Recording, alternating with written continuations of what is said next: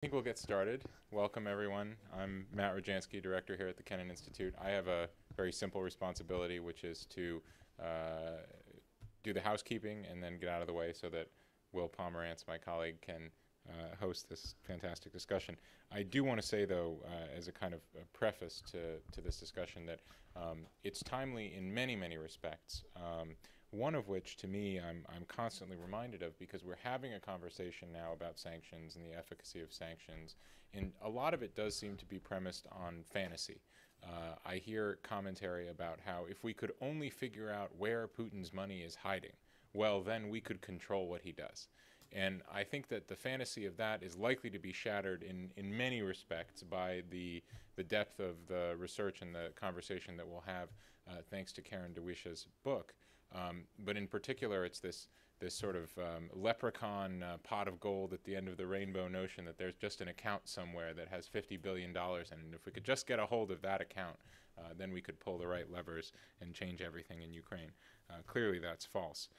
Um, I want to uh, not only thank uh, uh, our, our, speakers today, but also note that we have much more to come. this Friday at 10.30, we will have Sergei Plokhy, um, who is the uh, Mikhailo Hrushevsky Professor of Ukrainian History uh, at Harvard University and at the Harvard Ukrainian Research Institute, uh, talking about his book, The Last Empire Final Days of the Soviet Union. Uh, and then on Monday, uh, we will have at 1.30 in the afternoon a, uh, a discussion interview style uh, between uh, Igor Sergeyevich Ivanov, a former foreign minister of Russia, and now head of the Russian International Affairs Council, with uh, Jill Dougherty, formerly of CNN, who is sitting right there, uh, now a fellow here at the Wilson Center and affiliated with the Kennan Institute. So I hope you can join us for both of those fantastic events, and I'm very glad you're with us today. Will. Well, thanks so much, Matt, and welcome. We are indeed in for a treat today. Um, and if you haven't got enough discussion on Putin, well, I think we're going to hopefully satisfy your curiosity today. Uh, it is our great pleasure to have Karen Dawisha here to talk about her new book, Putin's Kleptocracy Who Owns Russia? And I should add that the books are available on sale as well.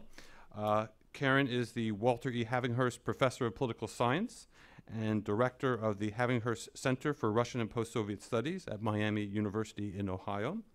Uh, she is a former Wilson Center public policy scholar, as well as a former guest scholar at Brookings. She has taught at many universities, including a long stint in the area at the University of Maryland. Uh, the author of numerous books, but I have a sneaking suspicion that this one really rises to the top of the list. Um, and she received her PhD from the London School of Economics. Uh, Karen will be followed by Professor, Professor Elizabeth Wood for a commentary on her uh, presentation. Uh, professor Wood is the professor of Russian and Soviet history at MIT and Elizabeth also will be joining us in, the, in January as a fellow here. She is the author of two books, including her most recent book, Performing Just, Justice Agitation Trials in Early Soviet Russia. And her current work, uh, which she, she will be pursuing here at the center, is also uh, on Vladimir Putin and the performance of power in Russia today. So, with that, I turn the floor over to Karen. I'm going to stand.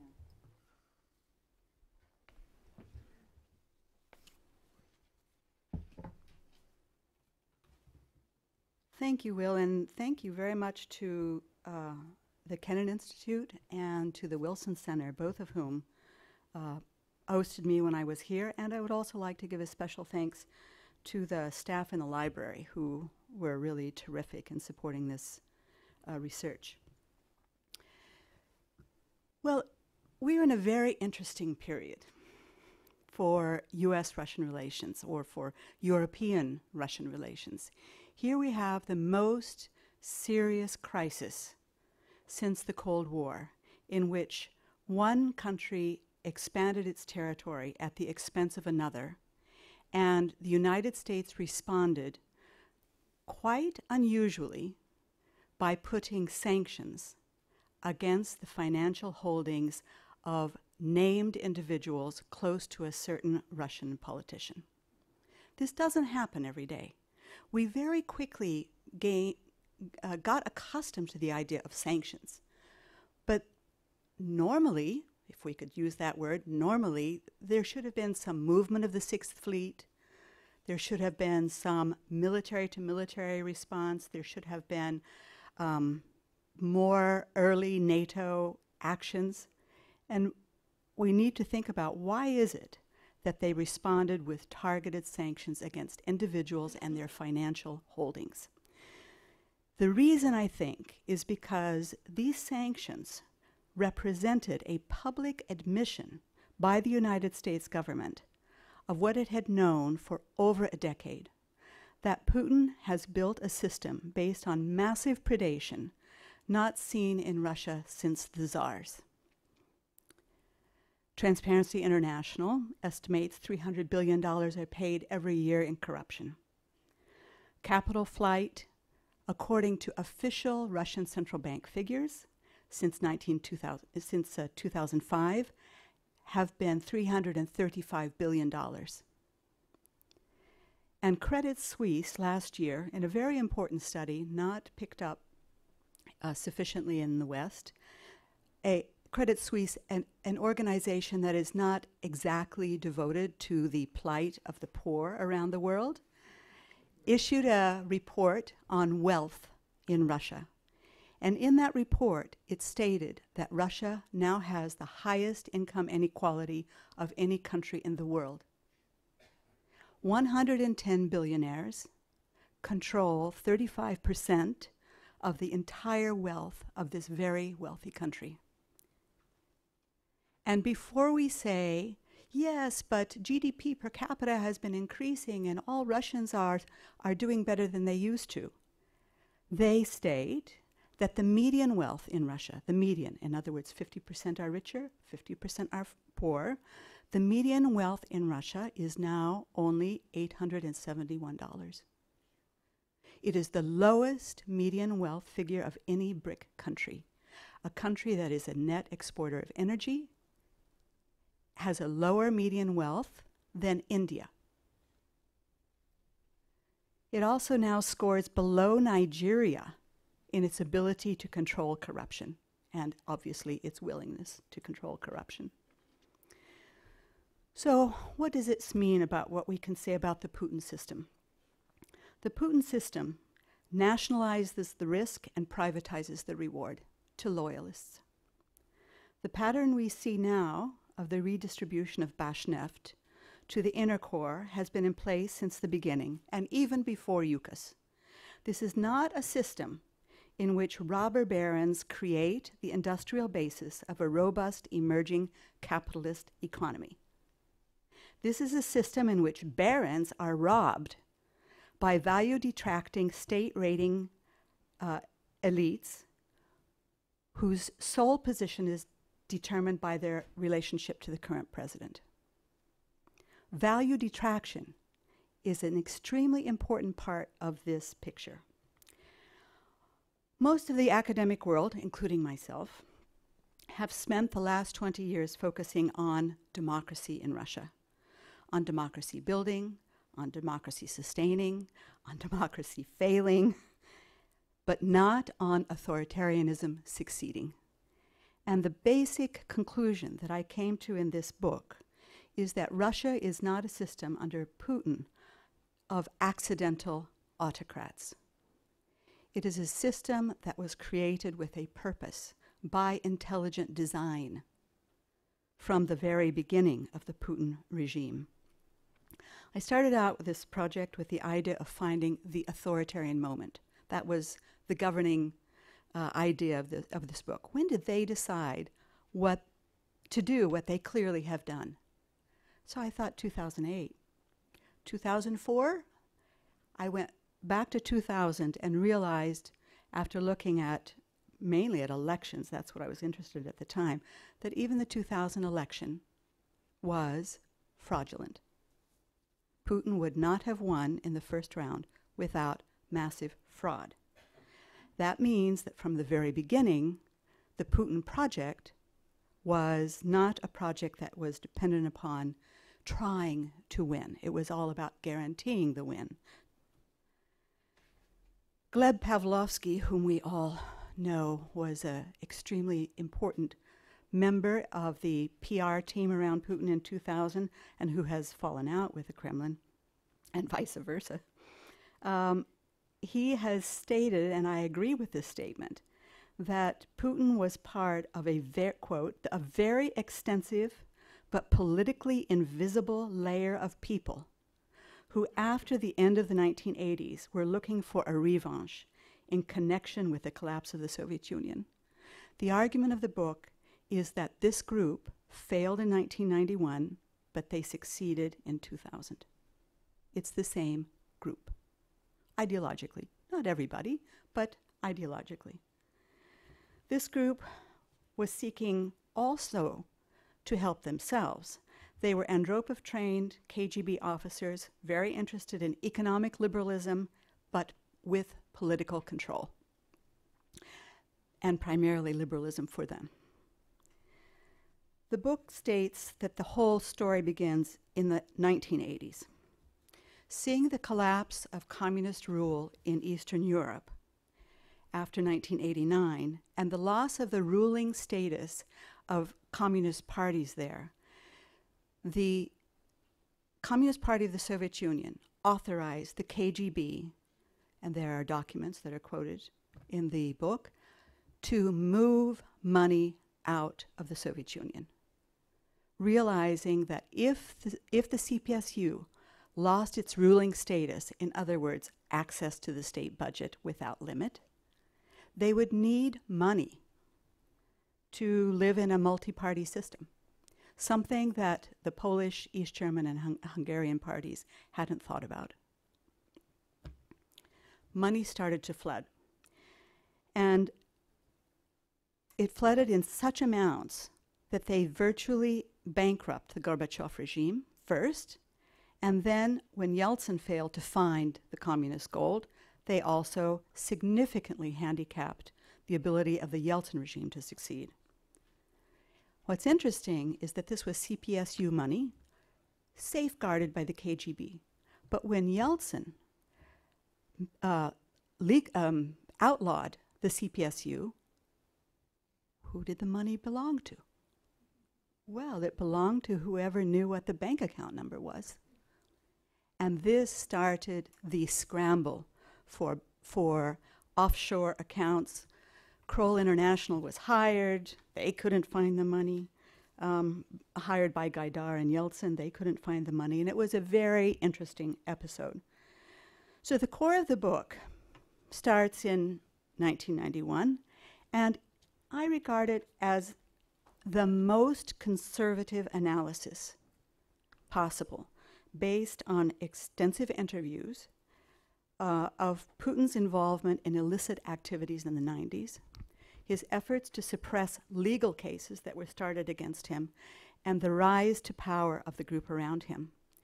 I interviewed Russian, European, American journalists, activists, and many government officials, but I only used those documents that were publicly available. The reason that I did this is that there's quite a number, many, many books on Putin that assure us of their sources. What I'm trying to establish is that it's there. What we know about this episode, it's there in the written source material. We just need to do the work of discussing it, of researching it, bringing it to light. And the book is dedicated to free Russian journalism because it was Russian journalists who followed this story, first and foremost. And they wrote this story when there was free journalism. They covered it extensively. They were on Putin's tail from the very beginning. They couldn't write this now, but they were writing it in the 1990s. So I believe the account provides a baseline of accusations and information known and discussed in the 1990s and its contemporary import. You won't find in the book any repetition of, you know, hot rumors that we all hear about the participation of a certain high Russian government officials in the bunga bunga parties of Berlusconi. You won't find anything about a penchant for taking baths for their natural Viagra effect uh, in of bloody velvet drawn from Siberian reindeers. It's not in the book. But there's a lot in the book. I can trust me, there's enough. so the book contains major sections on Bank Rossiya, uh, on the food scandal in St. Petersburg in the early 90s, on Putin's involvement in the control and emergence of the gambling industry uh, in St. Petersburg, uh, Putin's involvement as a member of the board of the St. Petersburg Real Estate Holding Company, a company that was registered in Germany and that was investigated by Interpol and BND for its involvement in the laundering of money from the Cali cartel. Uh, his giving of a monopoly position to the Tambov gang uh, in the Petersburg Fuel Company, his involvement in creating and using uh, source money from the mayor's contingency fund through a company called 20th Trust, which led to a criminal case number 144128, and the unauthorized use of funds from the mayor's contingency fund in uh, in getting a apartment for himself in St. Petersburg, uh, which led to a criminal case 18 slash 238 278 95. What I'm doing just by mentioning these numbers is to say there is the data. There is the data. It's presented in the book, but there is a lot more. And I'm going to spend the rest of my time talking about only four things two people, a place, and a document. The two people, Vladimir Smirnov and Viktor Zolotov, two people who are not in the uh, public eye that much. Vladimir Smirnov. Smirnov is regarded by Russian opposition figures as one of the cutouts between the mayor's uh, office and Putin's committee uh, in the 1990s and the Tambov uh, mafia gang.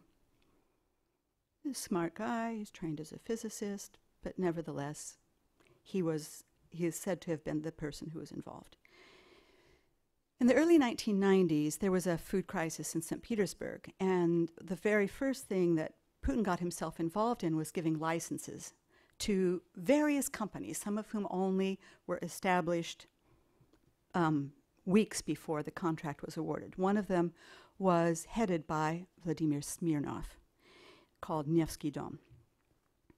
When the uh, St. Petersburg legislature investigated these contracts, in which the minimum amount that went missing was $122 million, but the total number of the total amount of contracts awarded was a billion dollars.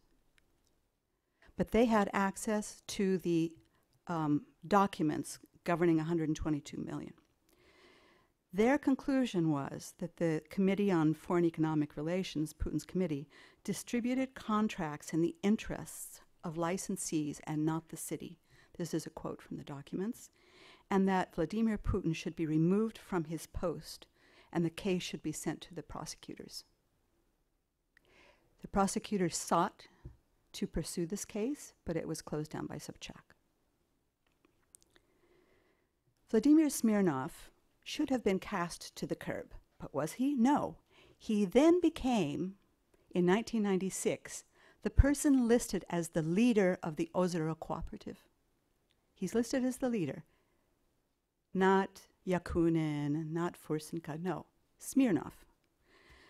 And most people focus on this gated community that they established without asking the much more important question why did they set it up as a cooperative? There's private property.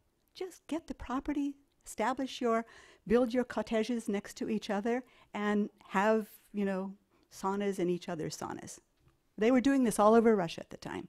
Why did they establish a cooperative using the Gorbachev cooperative laws? Because, in my opinion, they were able to establish a cooperative bank account number. And according to the Gorbachev laws, it's all for one and one for all under the cooperative arrangements. So, bank account number, you said I couldn't, we didn't know the number. Here it is 180 461 008. It was established, it's listed in the documents, and all those people whose names we know as being close to, to uh, Putin from the very beginning had access, according to the law, it's very important under Putin, to a joint bank account from 1996 onward. So you would have thought that Smirnov would settle down. I mean, he's, he's in with the, the big guys. You would have thought Putin would settle down too. But they went on to be on the board and, and in Smirnov's case, to direct SPAG, the St. Petersburg Real Estate Holding Company. And SPAG was also, also on the SPAG board was Kumarin, the head of Tambov. SPAG was investigated by the BND for laundering Cali cartel money. And of course, Russian mafia money too. But BND wasn't looking at that time for Russian mafia money. They were looking for Cali cartel money. And that's how they found it. So there were BND raids and there were arrests. And then Gerhard Schroeder came to power and the case against Putin was suppressed. However, the US government leaked uh, documents, well, leaked results of their own uh, investigation, in which they said that there was a sheaf of intelligence reports linking Putin to SPAG. And as a result of that, they succeeded in getting Russia placed on an international money laundering list. 2000. All right, Smirnov is certainly rich enough by now, so why doesn't he go abroad and live out his life? No, he, Putin goes to Moscow uh, in 96, he becomes president in 2000, and he appoints Smirnov as head of Techsnabexport, Tenex. Tenex is responsible for up to 50% of the world's trade in nuclear materials. It was also the U.S. partner of in megatons to megawatts, and it received $3.5 billion in U.S. aid. It provided nuclear materials for the Bushehr reactor in Iran. This is serious stuff. So when we talk about, you know, Putin being concerned about Iran's nuclear potential, well, I mean, he's having saunas with this guy. This guy's the leader of the Ozero Cooperative. So he should be concerned, but he certainly could control it. So that's Smirnov. Zolotov, the other person.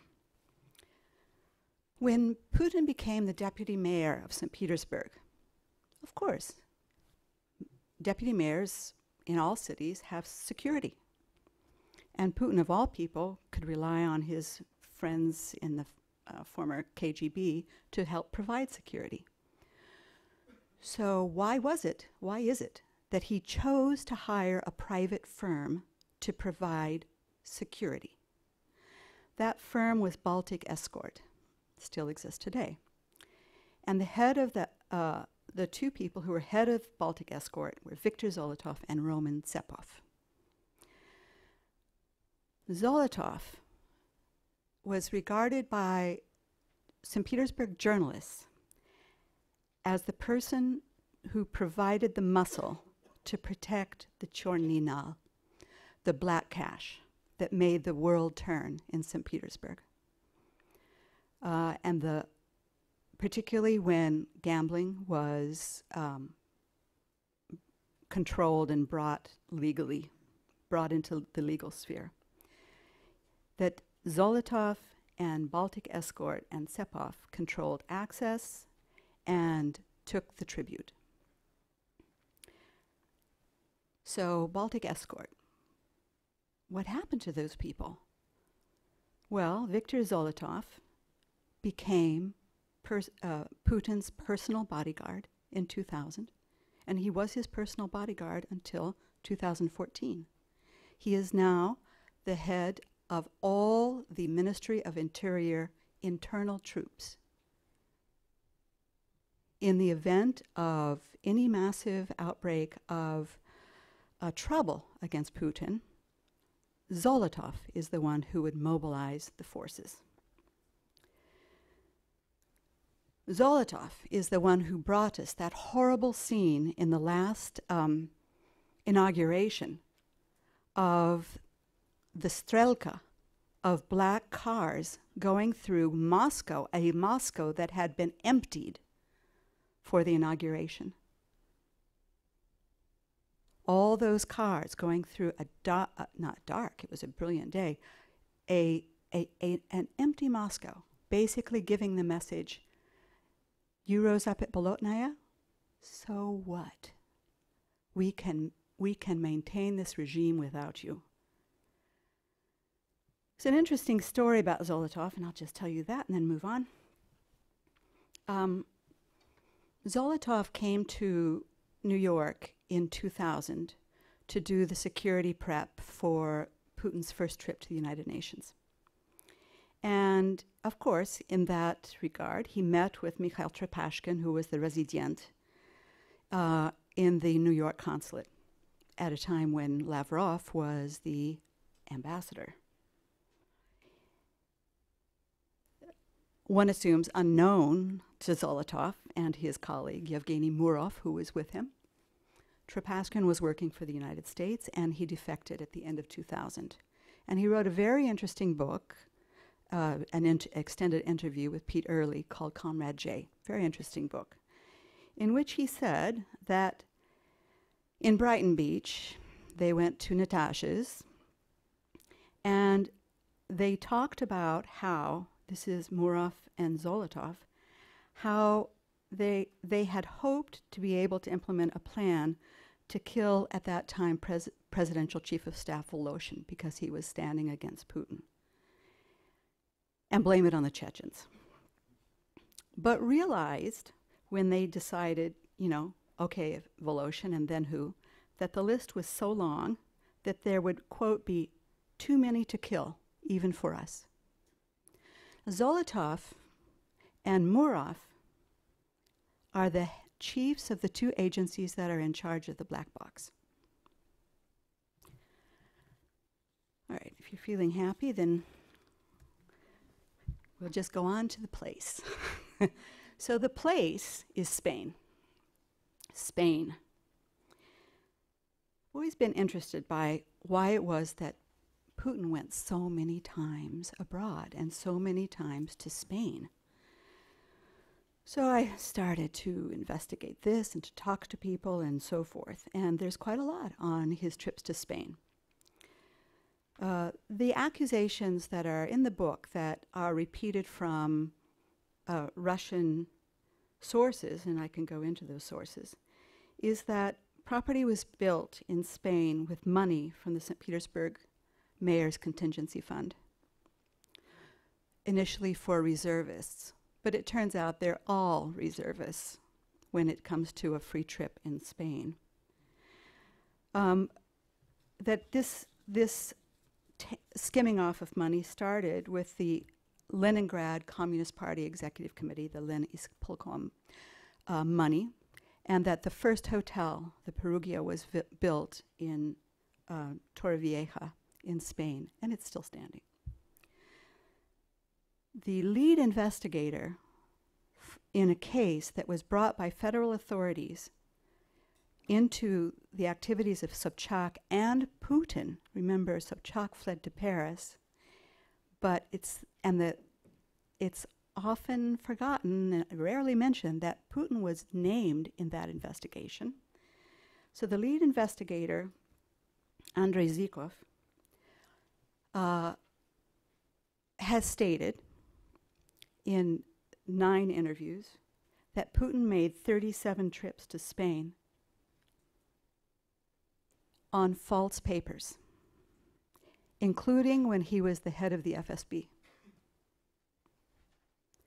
that the investigators, the prosecutors, gar- gathered 110 volumes on this case before it was shut down when he became president.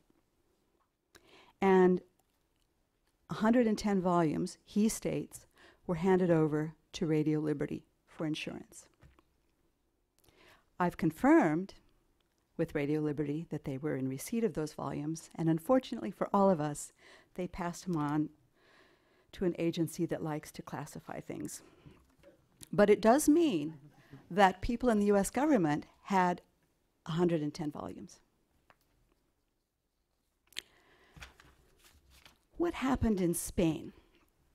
In Spain, after Putin went to Moscow, the group uh, within the organized criminal world who had benefited from him up until that time, and, and those who were in power, uh, left the country and they went to Spain. So Gennady Petrov, Alexander Malyshev, set up in Spain. Others in the Putin circle bought properties that were adjacent. Gennady Reznik, who's now the head of the Duma's anti corruption committee, Leonid Reiman, who became the Minister of Communications and was regarded even by the Russians as the most corrupt of all the ministers. And the Spanish authorities, acting on requests from Interpol, started to tap phone calls coming from these places. And as we know from WikiLeaks, uh, they had phone calls from Petrov to four sitting ministers in the Putin government, including especially Anatoly Serdyukov, who regarded, was in his uh, speech patterns, regarded Petrov as his own boss.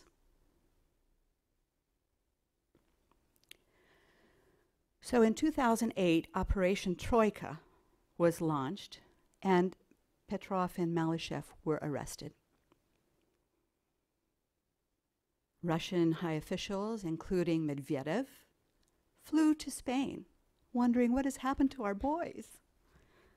They're, they're, they're, they're, they're, bad things are happening to them in these nasty Spanish prisons. So the women were released, wives and so forth. Um, Petrov and Malyshev were released to house arrest. Petrov is now back in Russia, in St. Petersburg.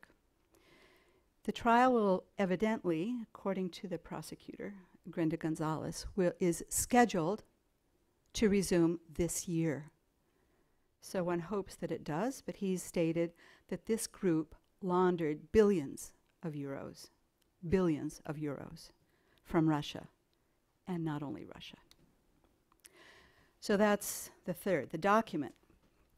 And that's my last point. The document that I, I found very chilling when I found it. I was very happy to find it, but it was not didn't make me very happy. Uh, comes from Kommersant, May 3rd to 5th, 2000. They ran three days of articles on a document that had been leaked from the presidential administration, prepared in 1999, titled The Reform of the Presidential Administration. This document was admitted to exist by the Kremlin, but they, they claimed that it was only a draft. However, everything that was in it was implemented, in my opinion. In this document, which is uh, about 44 pages long, and only part of it appeared in Kommersant, and I should say immediately it disappeared from the archive in Kommersant, and I was able to find it. In this document, each department is given open and public tasks, D- Department of the, of the Presidential Administration, as well as secret or actual tasks, so that the public presidential administration could tangibly and concretely influence all political processes that are occurring in society. And this is a quote If the president really wants to ensure social order and stability in the country during his rule, then the self governing political system is not needed. That's something we would call democracy. Instead, he will need a political authority that will create the necessary political situations in Russia and the near abroad and the near abroad.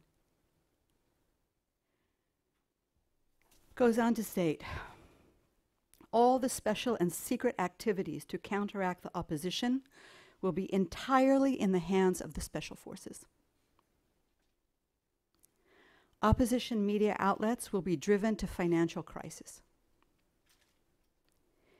And this is the one I particularly love. In an early indication of their cynicism and seriousness, the open functions of the presidential administration in relations with the opposition is to lock in constitutional norms and join forces with the opposition in the fight against extremism.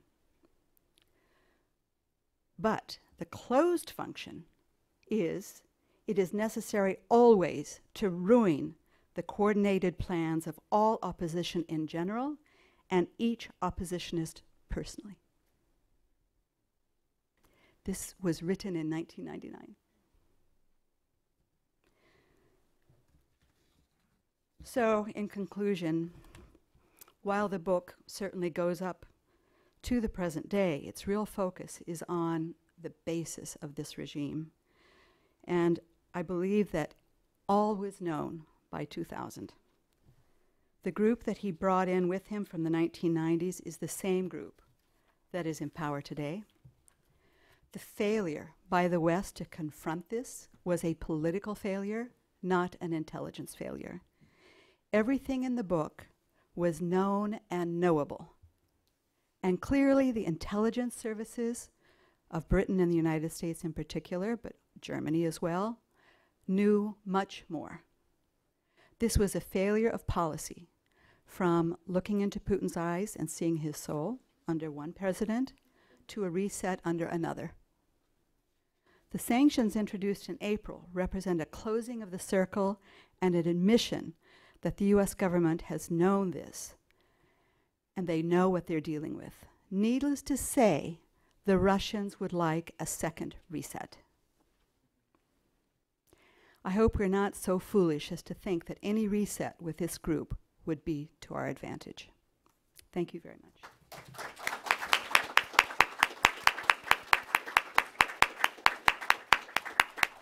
Thanks. Thanks very much, Karen. Elizabeth. All right, I'm just going to sit here because I want to be brief, because I think uh, the normal role of a discussant is to liven things up in case nobody has any questions. And I am quite certain um, that you are very likely to have uh, co- uh, comments. Um, So I'm going to keep my remarks very brief. Uh, I have to start by saying I think this is a stellar performance, an amazing book. Um, I've been waiting for two years since you and I first talked about it, uh, waiting to, uh, to read it. I also want to commend Karen publicly for the daring that is going into this book. Um, you document not, as they would say in Russian, niadin, uh, not just a few people who have died for working on this issue. And I think, you know, we as an audience and we as a country are very indebted for you to you for taking this very, very, very brave st- st- uh, step and and for researching it meticulously. I mean, I think the research is absolutely of the top caliber. caliber. I'm particularly interested in this book, and I think uh, perhaps this is the reason Will suggested I would uh, be a decent commentator because I've been working on the Putin regime uh, and the appearance of power that I think masquerades this uh, kleptocracy. Um, and I'm interested in the creation of a facade of autocracy, the pretense that one man rules, when in fact, what I think Karen Dawisha is showing is that it's a network and also a facade of democracy because this is a man of the people, this is a, a regular guy, this is a guy who uses tough language, so he must be speaking the truth, he must be authentic. I'm very interested in the ways that was also constructed in this same time period to make it look like he's the guy. He's the he's the real person, um, and it's not being uh, manipulated, controlled from below. Um, that said, I want to, and I, I'm going to be giving a talk uh, at the Wilson, Woodrow Wilson Center, I don't know, in this room or elsewhere, wherever the works in progress are in uh, January. So um, January 13th, I think. Um, I'm also very, very interested in a point that um, Karen makes but doesn't uh, delve into, which are the the ways in which this system looks like a very old, old system. In medieval documents, we have discussion of tribute, of dain, which is the, the Russian word for tribute, and of kormlenie, which is officials feeding themselves through tax collection procedures. Uh, Peter the Great put in his fiscali to figure out new ways of collecting tax revenues and new ways of bringing money into the state coffers, but they were perfectly legit to bring money into their own uh, pockets. I think it's also very interesting. Uh, uh, uh, as a historian, that there are a number of uh, Soviet parallels as well. The creation of, crea- of substitute organizations like the Soviets. The Soviet Union was named after the Soviets, even though real power was in the party. The creation of shell organizations like the women's section of the party, which I have argued in my first book, uh, were fake. And also the ways in which, from the beginning, the organs, as they were called, the Cheka and the KGB, were connected with the state official powers. And also, um, I'm, I'm interested in the ways in which they uh, absorbed the, the third section or the Tsarist police. So, you know, the uh, famous move Yeltsin was looking for, the Russian idea, he failed. Uh, Putin uh, also tried initially to figure out a Russian idea. He figured out an anthem and he figured out, uh, you know, a few a flag and a few other things, but could not come up with a Russian idea. And the sad thing is, what is to how does this relate to the Russian practice? And and is the absence of ideology or the absence of a Russian idea in part because there's so much concentration on these practices? So what I, I want to um, stress that I think is really remarkable in this book is the tangled web of interrelations, mafia, oligarchs, bureaucrats, that they're utterly uh, interconnected. I think uh, Karen has um, identified a number of mysteries that we knew about in the Soviet and post-Soviet field. We knew that the gold disappeared under Gorbachev. We didn't know why. We knew that there was no food in Leningrad. Many of us experienced that in 1991. We didn't know why. Um, we knew that there were a suppression of justice, but we didn't know. We didn't know, as I learned from the book, that Putin was not only, as a lawyer, creating these licenses, he was creating them with no signatures, that they would not stand up in a court of law. This is um, deeply shocking. I, I've, I'm finishing a piece right now in which, in the 2000, in just a week before the 2000 elections, he said, you know, is it really about Tampax or Snickers? You know, he, he, there was a blatant disregard for elections, but um, that there was also this blatant um, financial manipulation, I think, is is um, new, important, and uh, will raise many, many questions. The question I want to flag is I think there's a very interesting tension in the book that I'm sure you're aware of, um, Karen, but I, I want to push you. I think that's the best function of a, of a commentator. You alternate between talking about Putin's malevolence on page five, that's a quote, Putin as an arbiter, Putin as uh, the one who keeps the sistema going, the figurehead for the structures and the criminal elements. You talk about them working for the purpose of strengthening Putin's hold on power. Um, so I have a, I am interested to see to what extent do you think this one man was seeking to be the center of power versus a possible alternative interpretation of the um, boyars, as we would say in the pre Soviet period, seeking to find one man that they could hold up as the top guy. In other words, is this one person looking to, to pull strings, or is this actually a wheel where we they've identified okay the one who will stand for us and therefore the one we won't let be challenged although i still think in 2011-12 there may have been thoughts of of uh, overturning him because the per- personal attacks on Putin were so strong. But any event, um, and then so that's sort of the main question: is how do we read all these strings? Which which way would you put it? Is it that they've, in a sense, created a VVP, as people in the field call him, Vladimir Vladimirovich Putin, as the figurehead? uh, because i- you need one, and it's an autocracy or it's a strong government. And to what extent have has he pulled their strings, made them this way? That's I think hard question number one.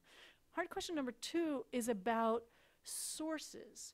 And um, I, I don't want to for a second suggest that you've used anything less than the best sources you could find, but you've obviously got a big range of sources. You've got um, everything from lawyers and insiders to opponents and people who've fallen out with the regime. Right? We all do that. That that's that's the source for anyone. But how do we? Is there a way you could characterize that spectrum from most? If you, I, I, I, I you know, maybe that you want to take other questions. You don't want to answer mine, but how would you?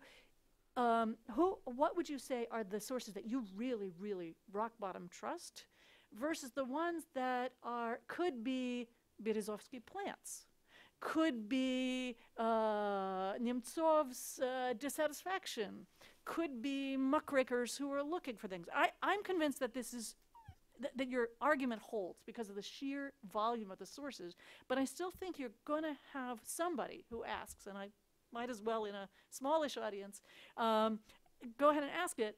Uh, I call this the emigre problem.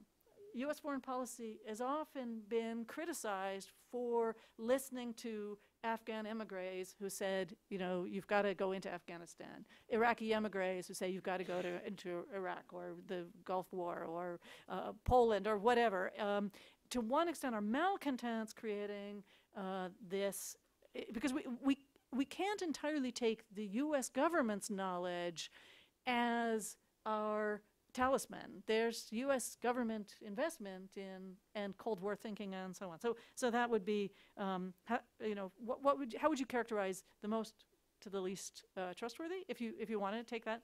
And then the last thing um, are a couple of smallish questions. No, not smallish questions. I take another one. Um, I, I'm curious about your view of the sanctions. To what extent, if we name these individuals, do we continue the trend of personalizing power in Russia? I've been very heartened that political scientists have finally started really talking about a personalist regime instead of the weasel of a hybrid. I, I'm going to get in trouble with a political scientist, but I think a hybrid is really fundamentally a weasel term, and that we need to try to understand how this system works.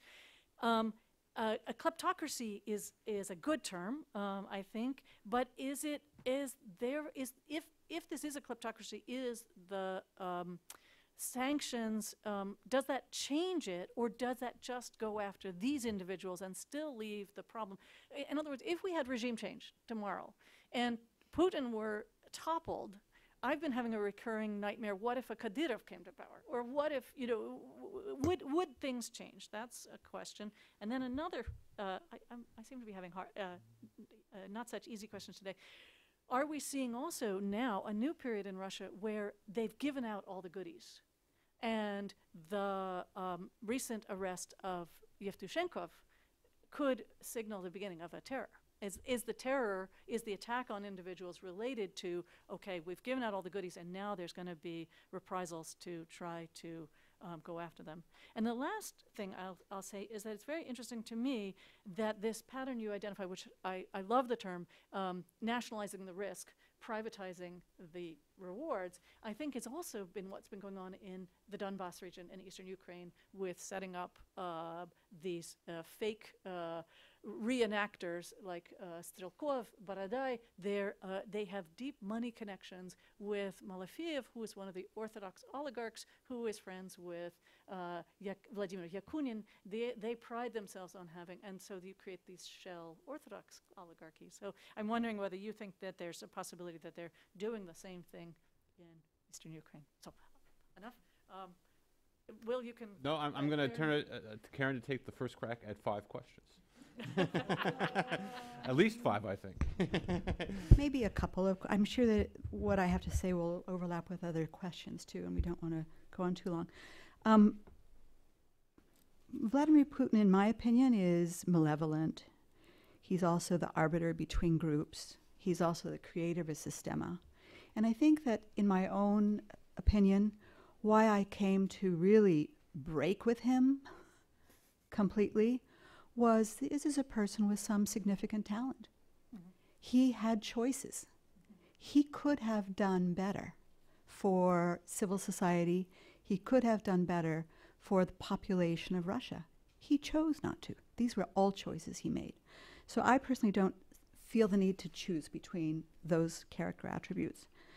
Um, do, can we believe opponents? Oh, well, I think that when you have people who were, let's say, uh, Sherpas for, for Putin in, for five years, when you have people like Ryzhkov, Nemtsov, and Milov, who were deputy ministers or deputy prime ministers, one would have to say that their views are worth considering.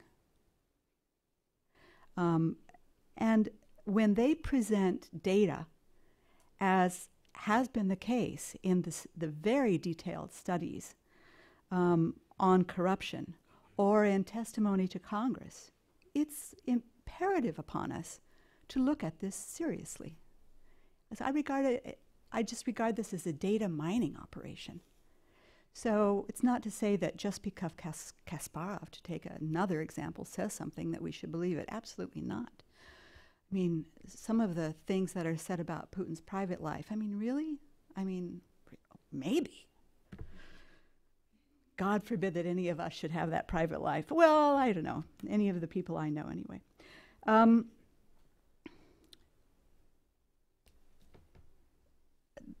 I, I will say also, because it, it comes to a point that I was going to mention anyway, about sources.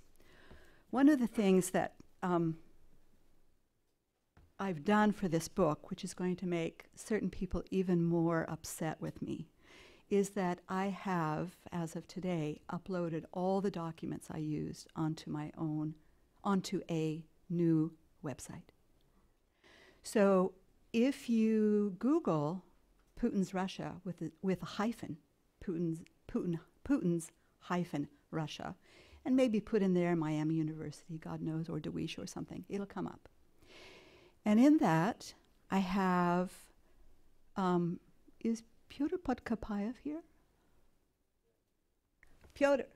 So I have the document from Kommersant that this excellent person, Pyotr Podkopayev, who's now working in DC, and you should all hire him, who translated it in, from really pretty bureaucratic and not very elegant Russian, because who was it written by, into quite good English, although he, into accurate English, let's say.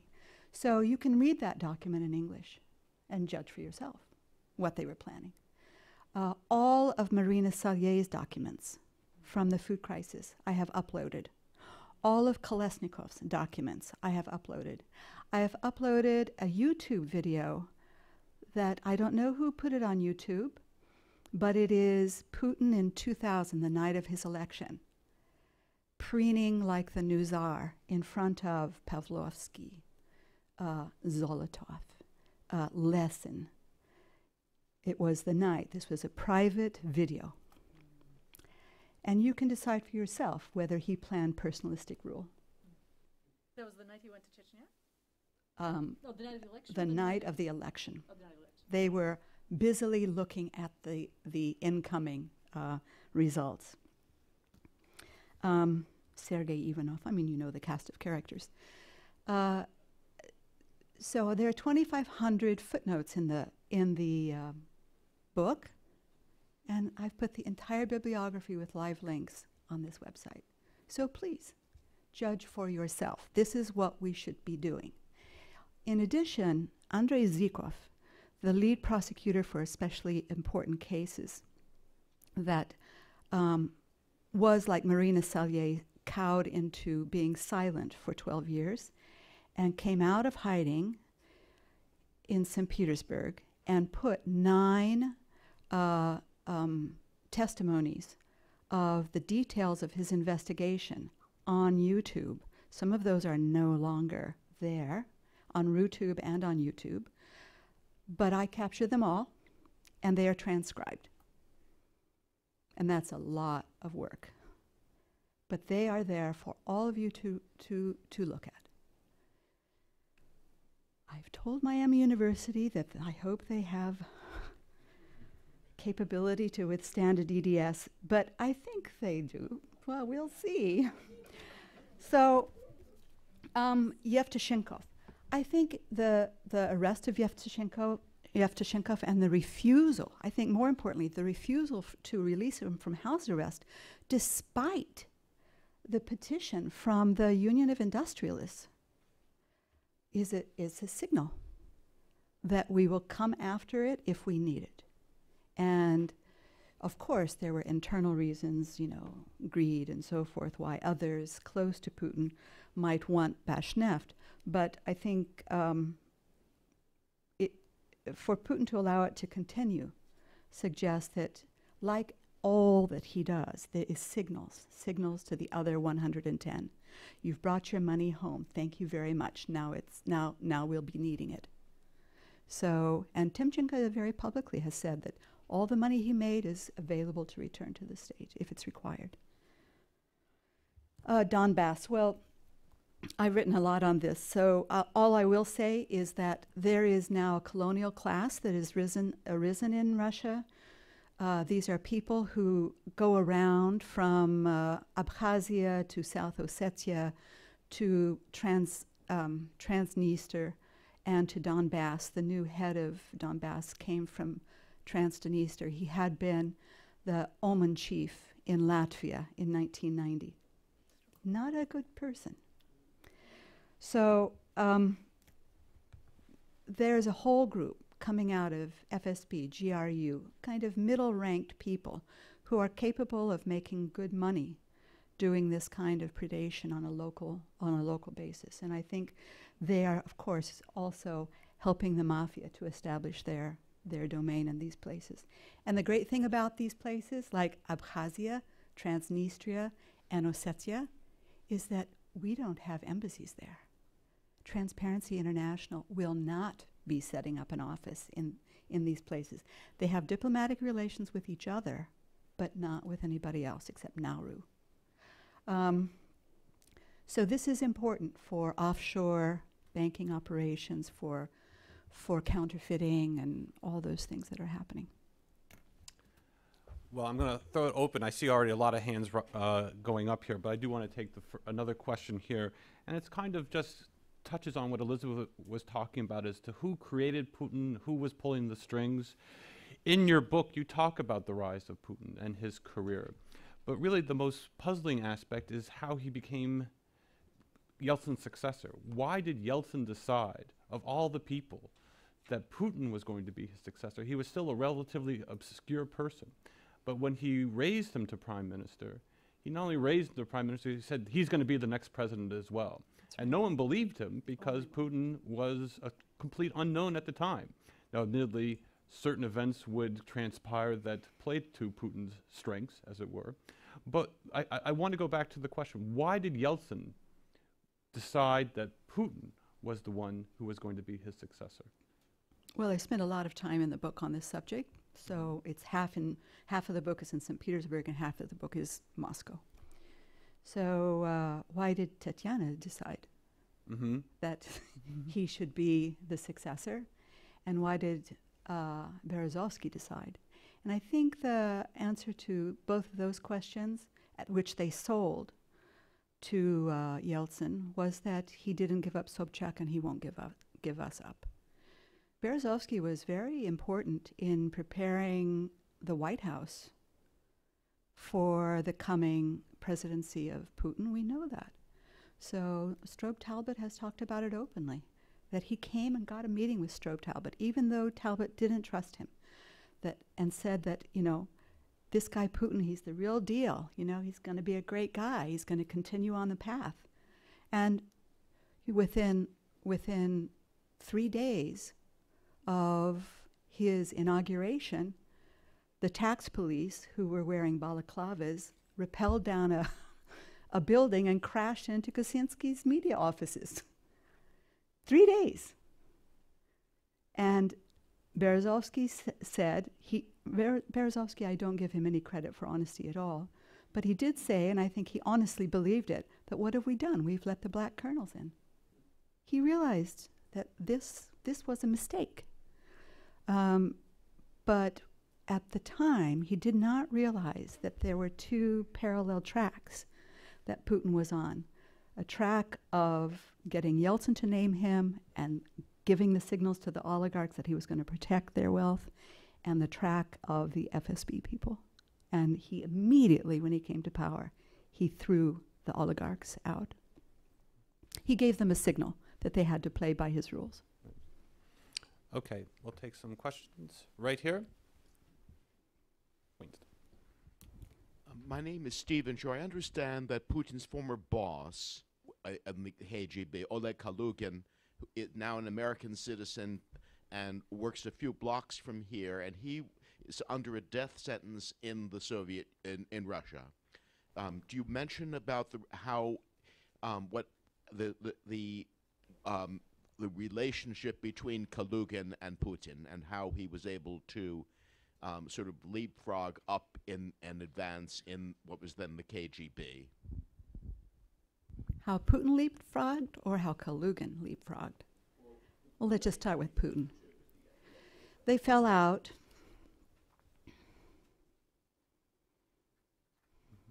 They fell out. Um,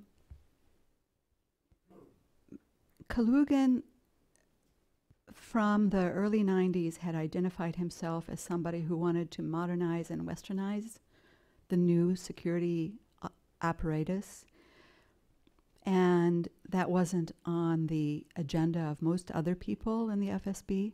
So he found safe haven here. Um, he certainly openly accused, talked about the stench of corruption coming from uh, St. Petersburg, very specifically in writing. So, what did he expect from that?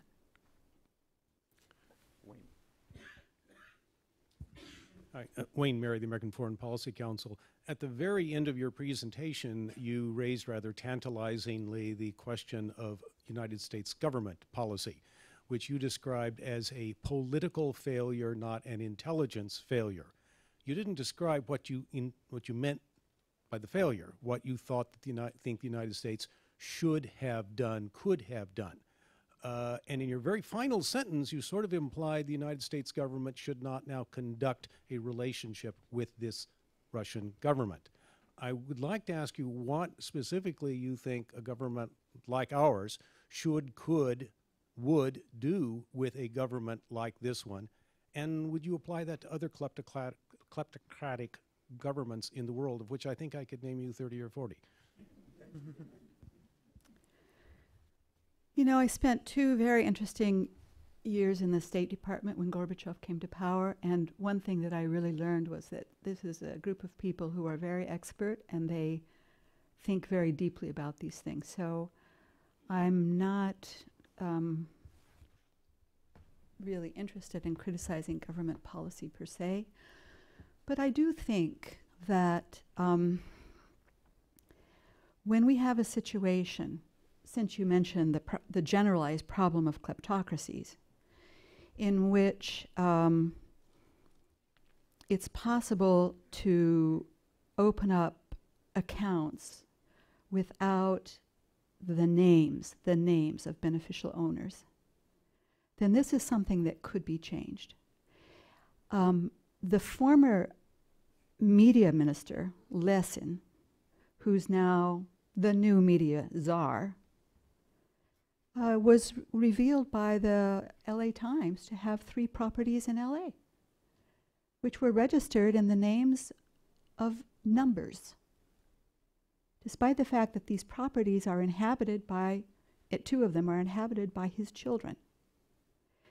So, allowing uh, anyone, whether they're Russian or not Russian, to buy a property with a number an LLC which has the title only of a number, LLC number 423, strikes me as something that perhaps is not in our interest in the long term. I don't know if any of you have been to Miami recently, not mine, but the other one. Um, we don't have a problem with people buying, buying real estate in Miami. Uh, but in Miami, Florida, the landscape of Miami, Florida has been really transformed by the purchase of real estate for the sole purpose of money laundering. Real people aren't living in these apartments. They are apartments that are completely empty and that, ex- that are exchanged, as in Belgravia, as in the Côte d'Azur, are exchanged in payment for debts because they're worried about, you know, the reliability of the banking system. That problem has only increased, of course, with sanctions. So there are things that I think are generalized problems that uh, that could definitely deal that could definitely be dealt with. And I do think that the U.S. government is aware of them and is now going to become even more committed to dealing with this problem.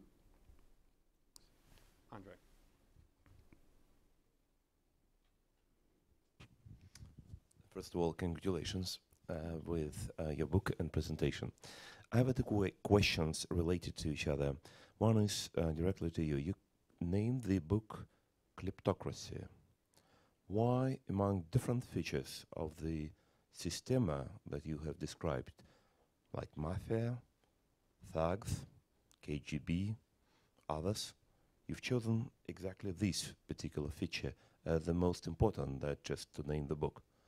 Maybe some others are equally important, or maybe some other reasons. Just if you can discuss what was the reason and what other features are important. And another one, probably for both Karen and Elizabeth, for you, maybe William, you would participate in this contest as well. Um, if we will think about the classification of political regimes around the world and historically, where would you put this particular example? Uh, which particular regime would remind you would be similar to this one, historically or internationally?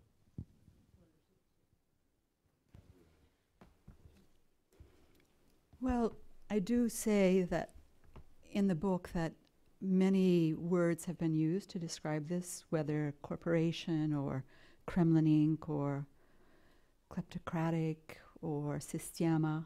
I'm a great admirer of Ledeneva's book on Sistema, for example. But I think that the word kleptocracy correctly conveys a normative evaluation. That this is a system that we shouldn't in any way condone by calling it something that doesn't travel, like Sistema. I mean, the Russian, Russian elites call the system themselves Sistema. So, and, and I'm fine with that. I'm not saying it shouldn't be called that, but I do think that uh, when a book is published in the States, conveying a sense of what we're really talking about here. And the major feature of this system is theft. It's theft from, from the state to private individuals. And when I say the state, I mean that includes all Russians. So when we talk about 110 and 871, how did they get to be 871? Because of the 110. So I- think it's important to convey that. It's, um, I think historically, it is a system without parallel. I mean, in the in the size of the uh, in the size of the um, effort. Now, I've had long discussions with many friends at panels and so forth about fascism. Should we start using the F word to describe Russia? Well, the the difference between um, the fascist rise in Germany or elsewhere, but particularly in Germany and in, in Russia, is that in Russia they the greed is much more important to them than the ideology. The ideology is a is the kernel that they wrap it all up in, that they feed to the propaganda machine so that people, ordinary people, can feel that they have, you know, that they that they're contenders, right? That they could go off and fight somewhere, that Russia is back, and and so forth. So I I don't. One, of course, could use that, but also that that whole thing has been now so debased by the Russia-Ukraine crisis. So that's really why I chose the word kleptocracy. Elizabeth, you wanna I'll jump in? go very briefly. I don't, I really think the limelight should be on Karen. Um, I, I'm really interested in this term personalist regime because I think what's very interesting is the absence of a res publica, an absence of an understanding of a commonwealth and working for commonwealth. And part of that is I think Russia is extremely difficult to rule. I mean, the more I study Russian history, I teach it, the more I think it is going to always have pockets of corruption, et cetera. The United States was 13 small colonies with a bunch of white men who owned their slaves. They didn't have to contend, they had to make relations with each other that allowed them to build sense of trust. That's changing in this global world. And one of the things that's so interesting about Karen's work is the ways in which they could create a liberal economy. This is, I, I learned this from Karen's book. They could create a liberal economy within Russia while uh, getting rid of their uh, uh, contenders and storing the money globally. So I, I, I really think that's very important. So for me, the term that I'm, I'm keep coming back to is the term that um, one of the historians developed, Nancy Kollmann, of the facade of autocracy. You create the appearance of top-down control, even though, as anybody who observes Russia at, at length knows, and many of the journalists are doing fantastic work on this, the clans are fighting under the rug. There, there's a constant tension over who can control which piece of the pie. But there's, it's very hard to be a do-gooder in a situation where the gains are too easy to hide. I mean, and I, I think, so the, the long-term question is going to be, how do you build institutions, checks and balances, when those have not historically, the Soviet Union created a moral system, a civilizing system, a whole lot of, you know, pressure on individuals, but it didn't create the right institutions because they undermined law, as I saw in Performing Justice. So if, if unless they find ways to build, to rebuild in those institutions, it's going to come down constantly to individuals trying to make money off the system. That's that's where I'm at. Okay, I see a lot of hands coming up, so we're going to take three questions uh, right now. And please keep the questions short. So one, two, and three. So go ahead. Since you asked the one about Yeltsin, um, could you say something about Cho- Sobchak? Uh, at the late Gorbachev years and a year or two later, he was portrayed in the West as a liberal. Uh, how did he pick Putin, and wh- or why did he pick? And d- do you have anything in the book about the apartment house bombings? We're going to take a question right here.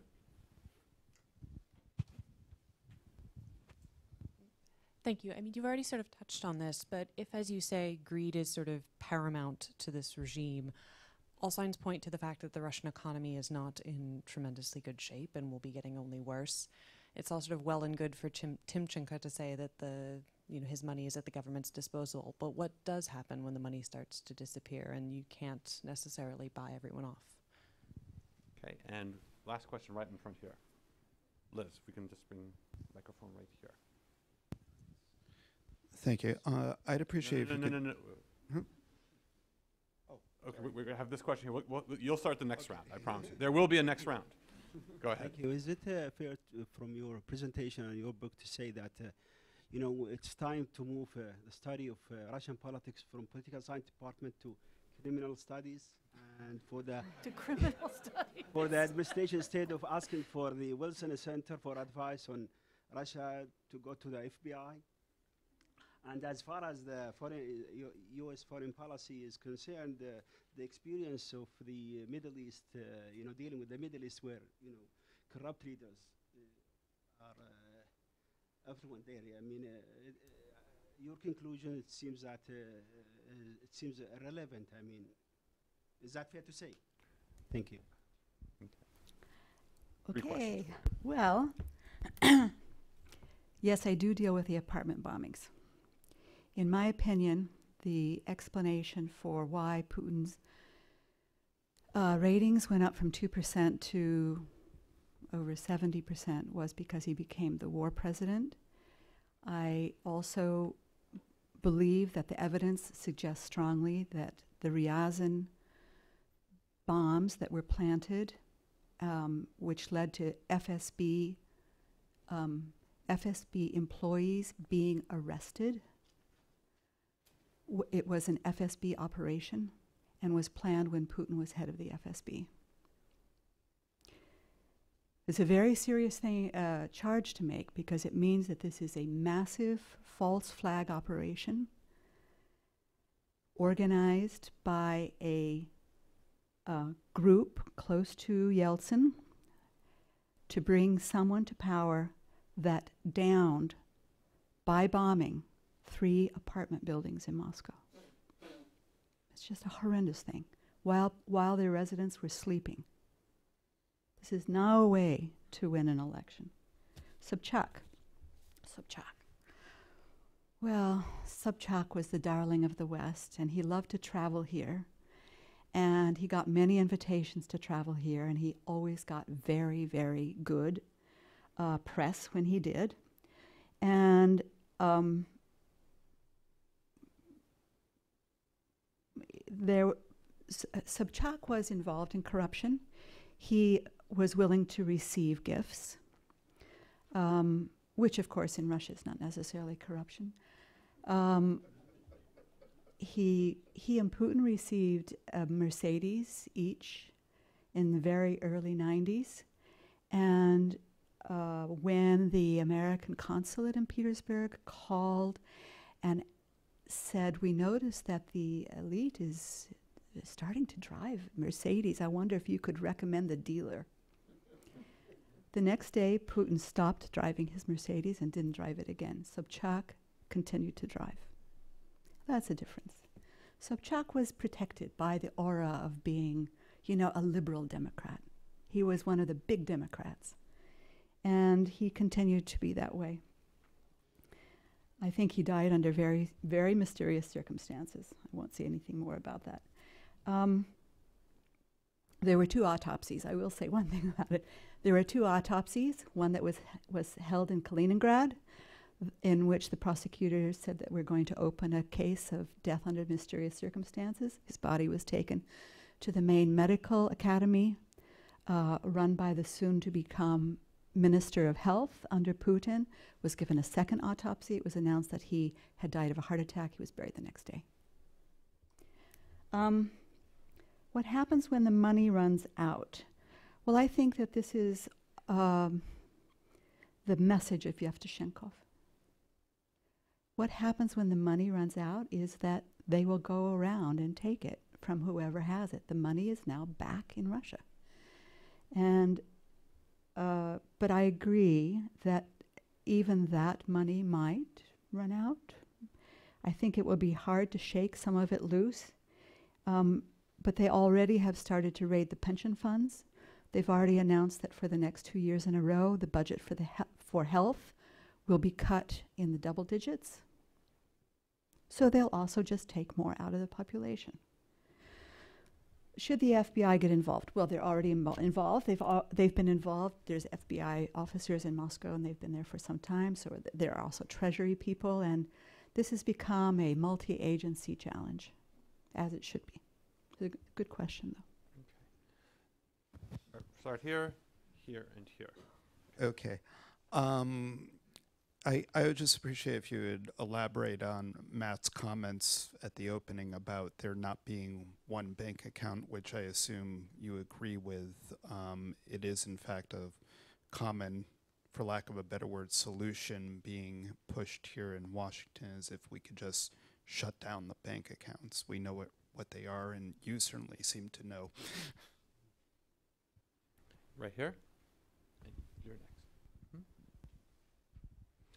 Hi, uh, my name is Bogdan Tsupin. I'm a journalist from Voice of America Ukrainian service. Um, my question is about um, Ukraine, war in Ukraine. Why do you think Putin bothered himself with this? Um, was change in Ukraine, the, the fall down of Yanukovych, a threat to Putin's system?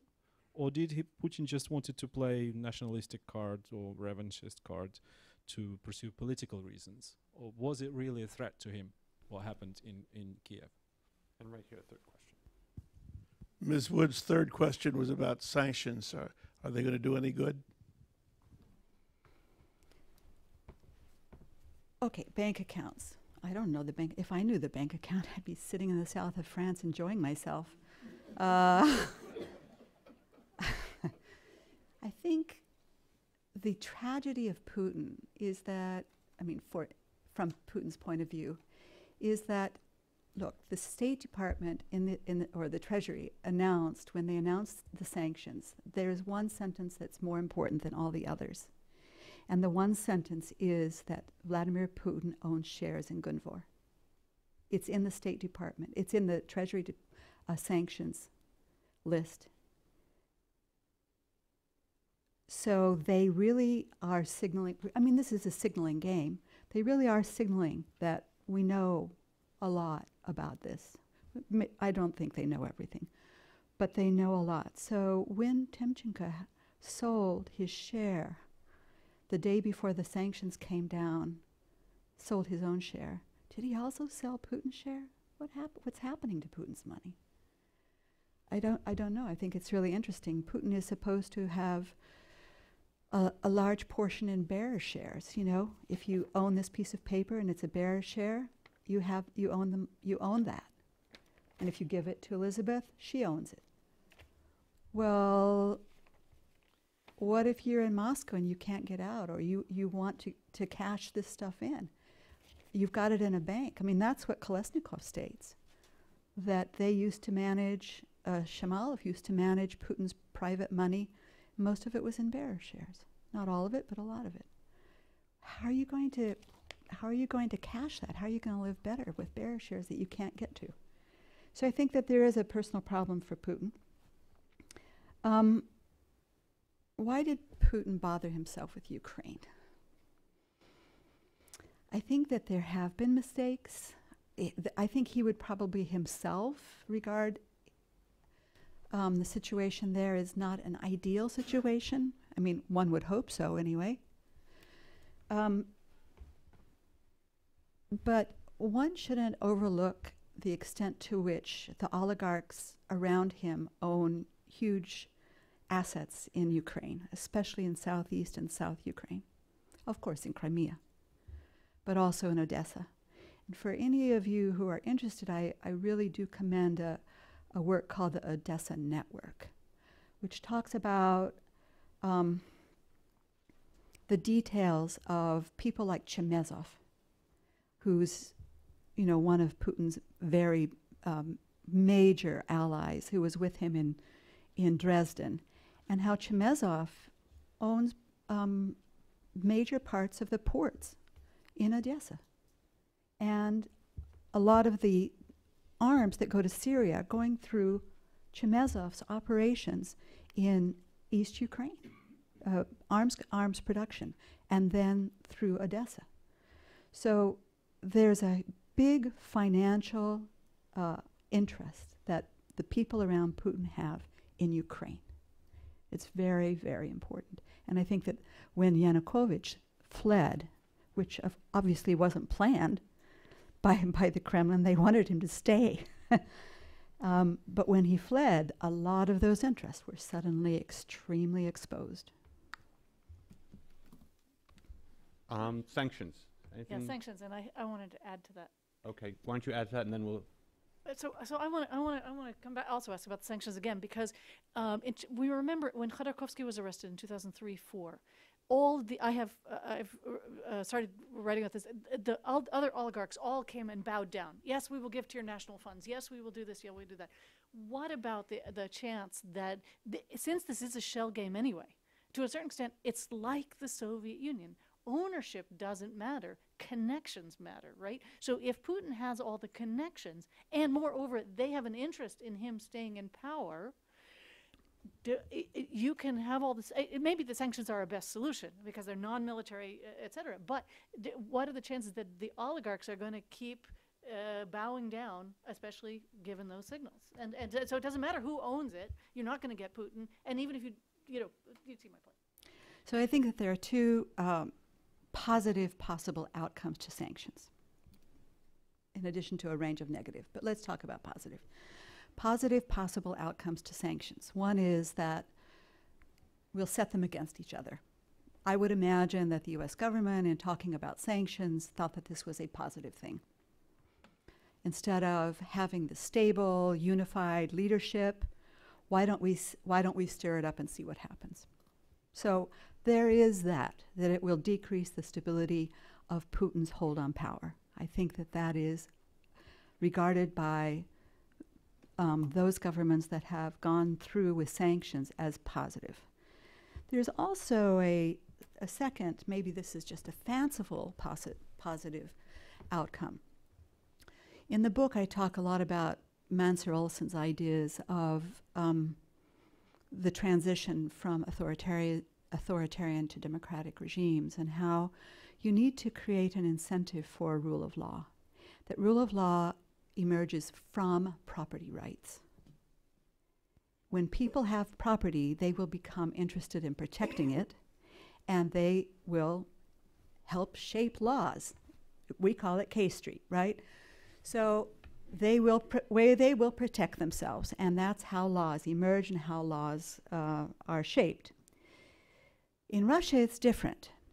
In Russia, up until now, uh, predation and looting is what happens in Russia. The protection of property is what happens in Europe. So the money leaves Russia and is put into European banks, and those people who have looted Russia protect their gains in Europe. So the rule of law is not emerging in Russia because they don't have an interest in it emerging. Now they're all home. Do they now have an increased interest in the rule of law? It is entirely possible that when the Union of Industrialists uh, petitioned for Yevtushenkov's release from house arrest, one of their efforts was to say, but he owned it legally. Even Kudrin said he got approval for the purchase of Bashneft all up the line. So not only did he own it legally, but that it was approved at the top. We can't go back on these kinds of agreements. And the message is, well, guess what? There's a new set of rules. So it from that point of view, I'm a little discouraged by the message that's coming from the Kremlin, which is rule of law. Come on, we didn't li- we lived without it for all this time. We're not going to introduce it now. But we shouldn't uh, completely dismiss the power of the 110. Uh, well, we've come to the end of our session, but I, I have one last question, and it, it follows on this question about property rights and property being overseas in Europe, and oligarchs can go visit their money anytime, or at least have up till now been able to visit the money when they want to. Um, you talk about this as a Russian story, but in light of what you talked about, how complicit is the West in Yeah. this whole story? Uh, you talk about offshore accounts, shell companies, non-beneficial owners of accounts, bearer shares. They've seemed to have learned a lot over the last 23 years, um, and it seems to be focused on how one conducts offshore banking in many ways. So again, have they, what lessons have they learned, and how complicit is the West in teaching those lessons? Uh, the West is well, Western banking is extremely complicit. There's no there's no question. Bank of New York. We kn- I mean, this was a Yeltsin story. Why is this continuing? Bank of New York was a Yeltsin story. Uh, so there's a lot of money to be made in Russia. When we see that Citigroup is thinking about withdrawing its or closing its 50 offices in uh, Russia, well, okay. So, what what what has what have been the rules for um, loans, bonds, IPOs? How much money has been made from Russian IPOs that were poorly prepared and introduced in London? Poorly prepared from a legal standpoint. And who is benefiting from that? Well, who's preparing the IPOs? IPOs. Who are they accounting? Well, I, I know this is a subject close to your heart since you worked for one of them in Moscow. but on an accounting firm.